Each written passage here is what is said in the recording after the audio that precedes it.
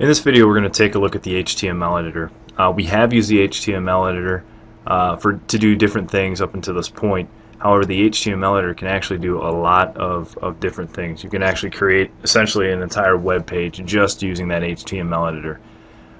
And I'm going to demonstrate that by adding another name to a topic bar here. So far, as in the last video, we added Reformation Exploration in Europe. Here we're going to add another unit, only we're going to use all the features that it has. Now just like last time, I'm going to go ahead and turn editing on. And just like I showed you in the last video, I'm going to take this code, copy that,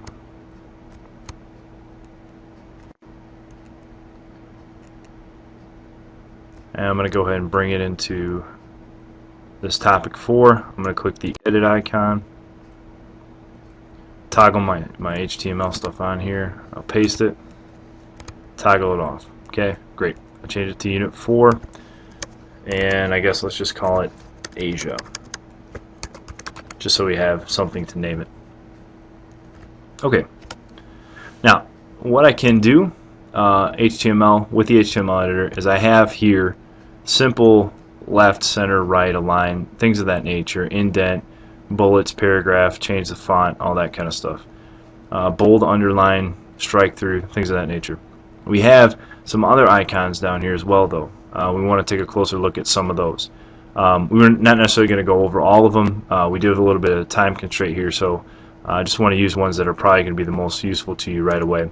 If you have questions about what the other ones do, please feel free to post them to the general questions forum, and I'll I'll get to those, uh, answer those for you. Okay, so let's say instead of just plain old text, I want to put a picture into this area. I can do that. Maybe I want to put a, a picture of a map of Asia. I'm going to go up here to this, it kind of looks like a picture, and if I hover over it, it says insert image. I'll click on that. It's going to take me to this screen. Okay, now I first need to go get the image that I want to put in here. Similar to how I would upload a file. So just like I would attach something to an email, I'll click Browse. On my desktop, uh, conveniently, there's a picture of a map of Asia. I'm going to select that and click Open. When I do that, I'm going to see the file path in this area right here. I'll just click Upload. And there it is. I'm going to click on this. It's going to show up here and allow me to preview it, things of that nature. Now it wants me to put in an alternate text. Basically this is the text that will come up if I were to hover over this image with a, uh, with the mouse, with the cursor. So I'm just going to call this map of, okay? Now in this I can also change how I would justify it. For example, I might want, um, let's just see the text top here. Okay, we'll just we'll just go with that with this time. I'll click OK, and it'll show up in my HTML editor. Now, right now, it's it's probably way too big, so I can just simply click on the corners, edit it down, just like that. Okay. Now, let's say I don't want the text here. I can play around with this, put it underneath. That looks pretty good. Uh, we can go with that, and I'll save changes. I'm going to turn editing off so you can see what it looks like in the clean version.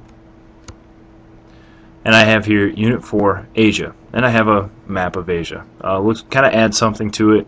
Um, you can put a, a, picture that kind of themes out your unit, um, just kind of makes for a little bit more rich environment. Okay, so that's how you would add a picture. Let's go back to that.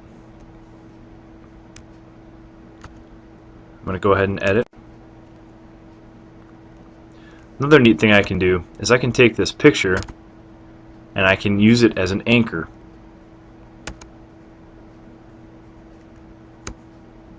Actually, in this case, we're going to go with uh, insert a web link.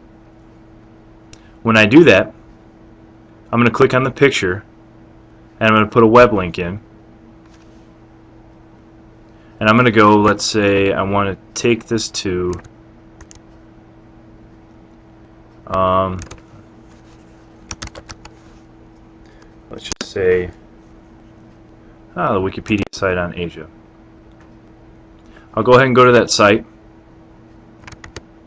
I'll copy this. Let's go ahead and just get rid of this. And paste the link in here in the URL section. I can title it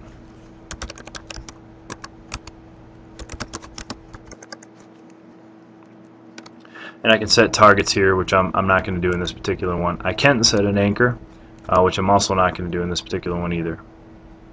I'll click OK and I'll save my changes. I'm going to go here, close that out, turn the editing off again. Scroll down now, when I move my cursor over the map, it becomes a web link. Okay. One of the nice things that Moodle does, and one of the reasons why I wanted to show you this, is because you can actually create a really um, rich environment for your students in terms of, of just little things here and there that um, that kind of add to your instruction. Um, things like these these uh, web links, putting pictures in, things of that nature, just just add to uh, the way your students engage Moodle. Uh, there's a lot of different ways to do this, a lot of different spots you can do that in. You want to be careful not to do too much of it though, or be too random about it, because it can confuse your students. And um, it is easy to, for example, with this picture, if I'm just trying to navigate and get down to the next assignment, and I accidentally click on this, now it's going to take me to another page, uh, which can get uh, a little obnoxious. So you just want to make sure it's structured, make sure it has a purpose. Um, just to keep everything kind of clean as you develop your uh, your Moodle.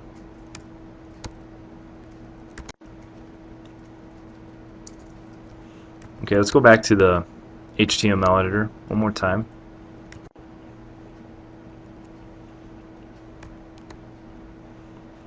I'll click here. And there's some other things that you can do with this as well. Um, you can insert a smiley I know some people like to do this. It has a plethora of options here for you. I can click blush and now I have the blushing smiley next to Asia. So go ahead and feel free to try out these other items here as well. This is edit, undo, so on and so forth. Um, you can insert a table. Try to do that real quick. It'll ask you rows, cells, pretty straightforward. You can put items in there. Um, so again, like I said, just feel free to play around with this and uh, get comfortable with it. That's the HTML editor. We will be doing more with this in the future uh, in terms of some other things you can do.